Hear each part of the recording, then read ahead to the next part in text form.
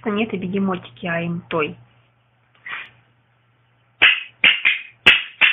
Цветные, яркие. Качество на высоте. Одна вообще из наших любимых фирм. Вот такие звуки.